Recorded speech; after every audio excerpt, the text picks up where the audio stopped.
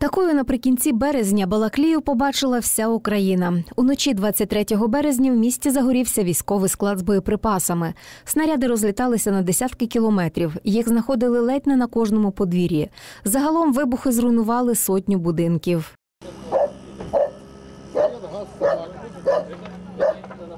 Олексій вважає себе щасливчиком, бо в його будинку вибило лише два вікна. Просто мой дом находится немного дальше от э, территории базы, которая находится здесь 400 метров. И стоит он не на ударной волне. Ну, два окна все равно вылетели. На цій вулиці будівельники й досі працюють, звели стіни довкола старих, поставили новий дах і вікна. Тепер балаклійці, вдруге обживаючи у селі, хвилюються за Вінницю. Телевизоры нас еще не показывают, антенны не установлены по ноутбуку. Смотрим по интернету. Тоже, конечно, сочувствуем. Мы пережили тоже такое. Среди ночи проснулись, оно все грохочет здесь. Ну, мы далеко не уезжали, здесь рядом село.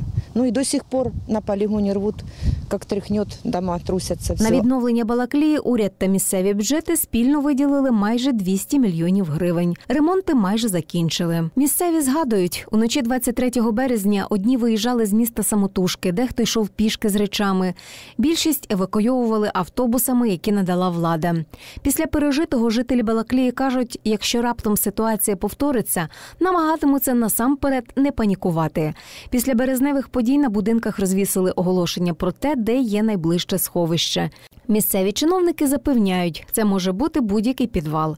В одному з таких навесні перечекали вибухи Василь із дружиною. Ну, підвалів у нас вистачає досить. е, Якби на кожен під'їзд, е, в цьому тут їх е, п'ять підвалів, люди дружно спускалися. Ну, зрозуміло, паніка була, якби то, спускалися люди, тут пересижували. Людям розповіли, куди треба прибути для евакуації. А от заходи безпеки в місті хочуть осучаснити. У Балаклії і досі чути вибухи. На полігоні продовжують утилізувати снаряди. Розробляємо проект по новій системі оповіщення. Буквально новий будемо планувати кошти в бюджеті на наступний рік.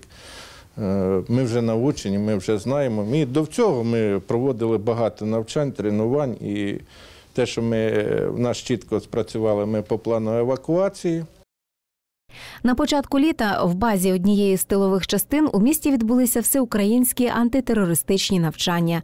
Там бійці збройних сил України відпрацьовували дії на випадок пожежі чи проникнення ворогів чи безпілотників противника. Попри те, що з дня пожежі минуло півроку, остаточні причини її виникнення досі немає. Припускають, що це диверсія чи службова недбалість. Однак конкретних фігурантів справи за обома версіями так і не знайшлось.